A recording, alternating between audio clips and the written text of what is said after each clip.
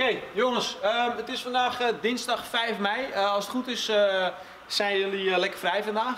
Ehm, Dave en Sanne die moesten vanochtend met Lois even naar de, naar de dokter. Dus, ehm, en ik wilde het niet alleen doen. Dus Dave die heeft eventjes wat geregeld. Jongens, we hebben vandaag Sarah Sigmundotter hier al gewoon erbij. Er is ze hoor. Hi, love you very much. Yes, yes, yes. Hi. I'm all the way from Finland. Hi, hi, hi. Finland. oh, in Iceland, yeah. In Iceland also. Hi, hi, hi. Kunnen we dit alsjeblieft niet knippen? Gewoon erin laten. Wat een domme lekker zeg. Hey, Finland. Ja. Oké, let's go. Nou ja, ik doe de workout. Eh jongens, vier rondes voor tijd. 21 wallballs, 15 toes to bar. 9 handstand push-up. Ik heb nou haren van die pruik in mijn mond. 1 rope climb. Eh wordt een eh, leuke workout, vier rondjes. We gaan even de bak, we gaan even de workouts, eh, de movements laten zien. De standards, even kijken of deze atleet ook een beetje kan bewegen. En dan gaan we de skilled versions vertellen. Tot zo. Doei. Doegjes. I'm Sarah from Finland. Sarah from Finland. Wobbles. Gaan we even laten zien. Wobble is niks anders dan de bal voor je snoet vasthouden. Go below parallel, helemaal naar beneden. Gooi de bal tegen de voorkant van je pand aan. Eh, niet tegen je raam. Dat is hetgeen wat we willen zien. En rust pas. Neutrale rug het eventjes kan. Heup onder het kniegewricht, balans op je hakken zien te houden. Heb jij geen medicijnbal, omdat je niet hebt gezien de workshop waarbij we zelf een medicijnbal maken voor een voetbal, dan zou je ook andere objecten kunnen gebruiken. Bijvoorbeeld een plaat. Die gooi je dan niet weg alsjeblieft, dat is vervelend. Dus dan doe je dit. Deze kan ook met een rugtas.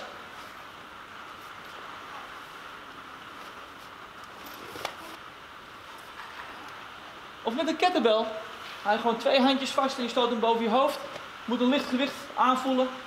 Kan ook andersom denk ik, wat hij gaat doen. Weet je wat hij gaat doen? Ja. Gooi niet weg, hou gewoon vast in je handen. Kan eventueel ook met een dumbbell, ook twee handen vasthouden. Squat, heuparmen, press uit. Kunnen we ook uitvoeren met de stang. Lege stang. Wel hetzelfde aantal herhalingen gaan gebruiken. We gaan daar niet in compenseren. Dat kunnen jullie zeggen. Hoppa. Laat je stang nooit vallen jongens als je ermee traint en je hebt het van ons geleend. In prijs. Zo ook alle andere materialen. Volgende movement die we gaan doen jongens zijn handstand push-ups. In principe ziet hij er zo uit. Tegen de muur aan. Hoofd op de grond. Kipping staan mag zeker weten. En je komt weer tot gestrekte armen waarbij je hakken tegen de muur aan leunen. Romp of lijf is helemaal gestrekt. Er zit geen kronkel in of iets dergelijks. Span je billen, span je buik aan. Je kan hem ook doen met, eh, vanaf een verhoging. Knie op een box. Kom naar voren, terug omhoog. Zorg ervoor dat je jezelf naar, de naar je knieën toe duwt. Je kan hem vanaf je knieën doen, als dat te makkelijk is, kan je hem vanaf je tenen doen. Het liefst je beentjes gestrekt.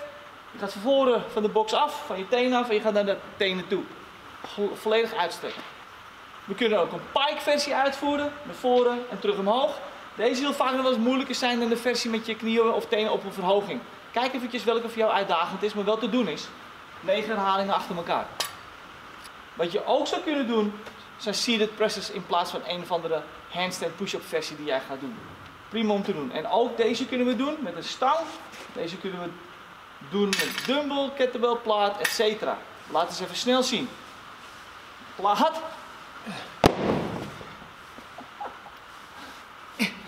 Rustig aan, dit knippen we allemaal was. Dumbbell.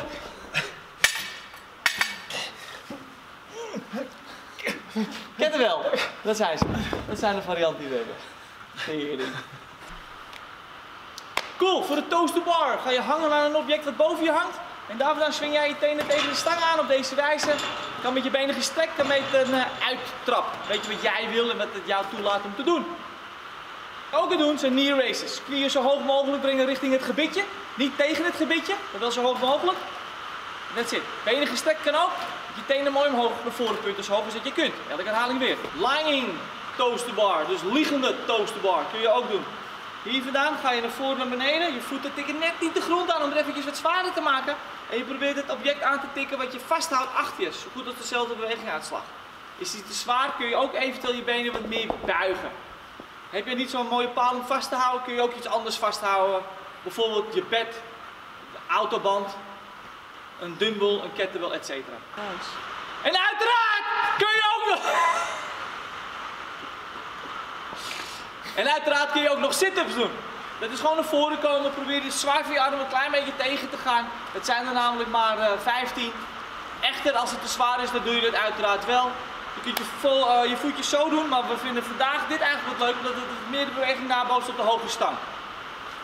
Laatste oefening van vandaag die we gaan uitleggen jongens zijn de rope climbs. En we hebben het eerder al laten zien in een filmpje dat we met deze lengte, achter je, achter Bas, ongeveer 12 climbs nodig hebben om de bovenkant aan te tikken. Dus dat zou betekenen dat we eventueel rope pulls kunnen doen, waarbij die 12 keer een switch gaat maken. Terwijl hij het handdoekje vasthoudt en dit doet. Ondertussen wordt je stang super schoon. Wat ook kan. Is dit Noorse stretch? Ja, Fins. Ja, dit is hamstring. Wat ook kan, is dat je een uh, tower pull doet aan een balustrade of iets dergelijks. Iets waar je achterover kan leunen of onder kan leunen. Verzin iets. Het kan. Het zijn pull-ups. In plaats van. En wij vinden voor de pull-ups dat je vandaag gewoon vijf stuks mag doen. Ten opzichte van één rope climb. Of je doet de ring rows. En voor ring rows zeggen we doe er maar acht. Vette voeten verder naar voren is moeilijker. Voeten verder naar achter is makkelijker. Goed. Um, ik moet een vlucht halen. Ik ga er vandoor. Ik dank jullie wel. We gingen lunchen. Leuk. Wij gaan snel lunchen. Ja, is goed. Dus uh, doei! Dames en heren, Sarah, Sigmund Dotter,